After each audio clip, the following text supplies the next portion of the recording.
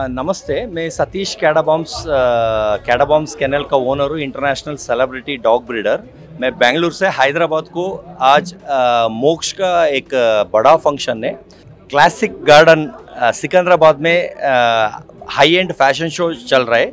उसको मेरे को चीफ गेस्ट उसको हैदर को शो स्टॉपर बुलाया है।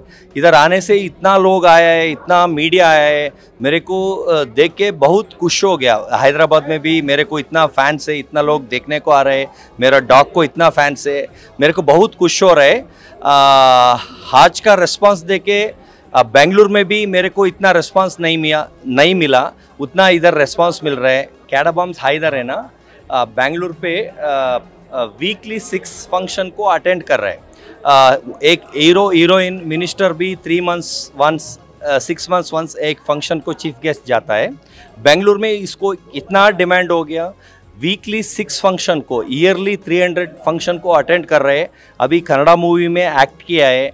और उसको गिफ्ट में लाए फोर्टी ग्राम का गोल्ड चेन और सिक्स लैक्स का डायमंड पेंडेंट और सेवेंटी लैक्स का डायमंड नेकलेस और आईफोन 14 मैक्स उतना उसको लोग बुला के उसको पब्लिसिटी कर रहे हैं।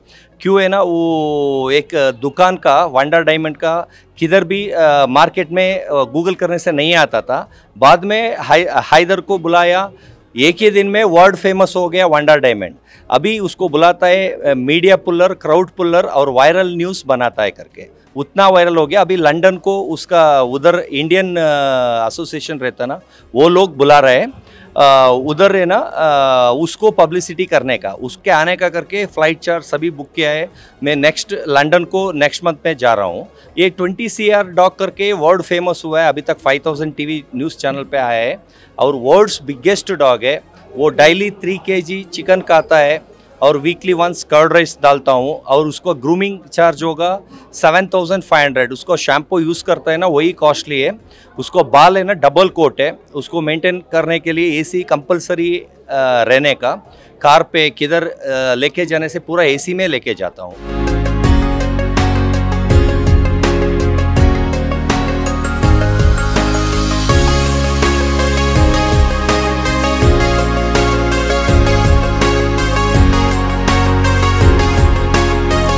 సో ఈ రోజు బెంగళూరు నుంచి మన దగ్గరికి కొజేషన్ షెపర్డ్ అని చెప్పేసి twenty crore rupees costly dog వచ్చిందండి.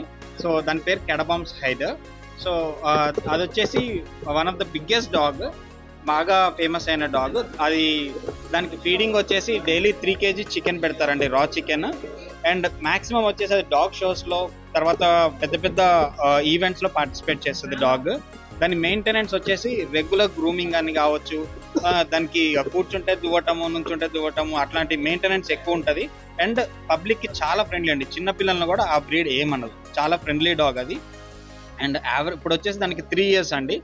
ఈ any dog average life span వచ్చేసి ఫోర్టీన్ ఇయర్స్ ఉంటుంది.